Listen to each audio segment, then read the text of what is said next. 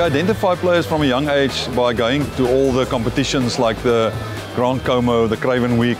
We look at a lot of festivals, uh, school rugby. We know what the weight, the size, and the skill levels that's required, and then uh, we start tracking those guys. The SAS Academy of Sport, we're very privileged to be here. We've been here now for the last three years. I mean, you can just walk over to the to the fields on the other side. There's a world-class gym here. There's a swimming pool facilities. So everything is here. I've got to ensure that, that our players are fit and strong for the type of game plan that uh, the coaches want to play on the field. All the coaches are talking about intensity and work rate. Know, one of the ways that we, we use to measure that is uh, we've been using the GPS with the Junior Boks. The key is in training is that we want to train the way we play or maybe even train at a high intensity than what we play our matches and we plan it accordingly in the week.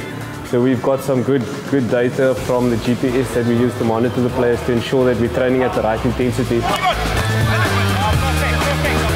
We're working here at Stellenbosch Academy of Sport, the Junior Boks, basically training their eyes, the brain and their bodies to make more effective decisions under pressure. And they're currently busy in the Argent program which simulates what they do on the field of play. So we're training all the different skills, handling skills, scanning, seeing space. My name is Lehlohonolo Jerome Mampane. I work as a team doctor. This is my second year with the team. We work in a collision environment. Common thing to manage these guys for contusions or any sort of sprains that they may come across. One likes to think that as a doctor, I'm very much hands-on. Yes, you're hands-on, but you know you tend to find that our physio does a lot more, a lot more of the work because there's a lot of manual work that's also required. My aim is uh, injury management of the players. So we do a proper injury history for the guys when they come to camp once a year just to sort out all their injuries uh, and rehabilitation. And then we'll also, after training, we'll come back do some assessments and treatment again.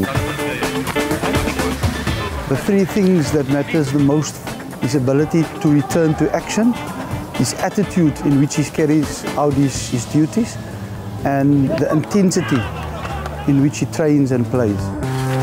Prepare the box to win is it's very tough work. It takes a complete teamwork from the SA rugby departments and the MOBI units right through to the management of the team. Uh, hopefully you'll get the right combinations together and the right guys that can put their hands up after this World Cup to be counted on to, to take it forward in the future.